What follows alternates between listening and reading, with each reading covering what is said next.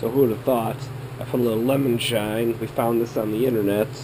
Um, my wife was reading some stuff, but uh, put Lemi Shine in with our glassware. I mean our dishwasher, and what a difference it's made. We got really hard water. I don't have the softener hooked up yet in this old dumpy farmhouse, but it's uh, it's hell of a difference. We haven't ran this one through the cycle. You can see that it's all whatever, but Lemi Shine uh, works pretty darn good.